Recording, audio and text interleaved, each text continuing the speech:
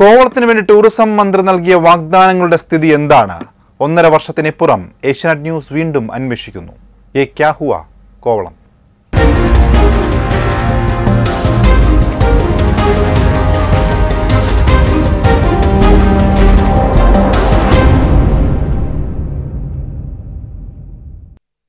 കോവളം ബീച്ചിലേക്ക് വരുന്നവർ ഇപ്പോഴും വാഹനം പാർക്ക് ചെയ്യുന്നത് സ്വകാര്യ ഹോട്ടലിന്റെ പാർക്കിംഗ് ഗ്രൗണ്ടിൽ. കോർപ്പറേഷന് സ്വന്തമായി സ്ഥലം ഉള്ളപ്പോഴാണ് ഈ ദുർഗതി.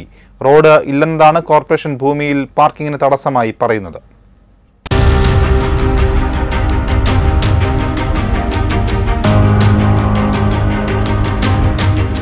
ഇന്ത്യന്നായാലും നിന്നായാലും പുറത്തുനിന്നായാലും ഒരുപാട് ടൂറിസ്റ്റുകൾ വരുന്നുണ്ട്. അപ്പോൾ അവർക്ക് അത്രയും വണ്ടികൾ പാർക്ക് ചെയ്യാനുള്ള ഒരു പാർക്കിംഗ് ഗവൺമെന്റിന്റെതായിട്ട് ഇല്ല അവിടെ. ഗവൺമെന്റ് ഒരു പ്രോപ്പർട്ടി എടുത്തിട്ടിട്ട് നമ്മൾ നല്ലൊരു സേഫ്റ്റി ആയിട്ടുള്ള ബാത്റൂമും കാര്യങ്ങളും ഇതൊക്കെ സെറ്റ് ചെയ്യാന്നുണ്ടെങ്കിൽ ഡെവലപ്പ് ആവും.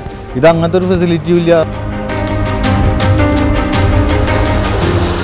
സീസണിലും അല്ലാതെയും സഞ്ചാരികൾ ഒഴുകിയെത്തുന്ന ഇടമാണ്. അന്താരാഷ്ട്ര വിനോദസഞ്ചാര കേന്ദ്രമായ കോവളത്തേക്ക് വരുന്ന വാഹനങ്ങൾ നിർത്തിയിടണമെങ്കിൽ പക്ഷേ സ്വകാര്യ ഹോട്ടലുടമയ്ക്ക് പണം നൽകണം. ആൾ തിരക്കുള്ള ദിവസങ്ങളിൽ പണം കൊടുത്താലും പാർക്കിങ്ങിന് ഇടമില്ലാത്ത അവസ്ഥ.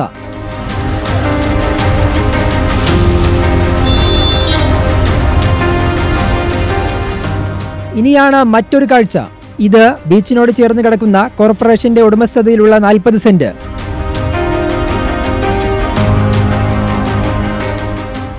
ഇവിടേക്ക് പോകാൻ റോഡില്ലാത്തതാണ് പ്രധാന പ്രതിസന്ധി.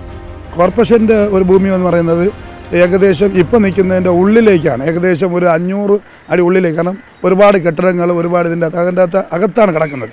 അപ്പോൾ ഒരിക്കലും അവിടെ ഒരു പാർക്കിംഗ് സംവിധാനം എന്തായാലും പറ്റില്ല. പിന്നെ ഒരു ഫ്ലോട്ട് ഉള്ളത് നേരത്തെ പഞ്ചായത്ത് ഇരുന്നപ്പോൾ കൈമാറിയതാണ്.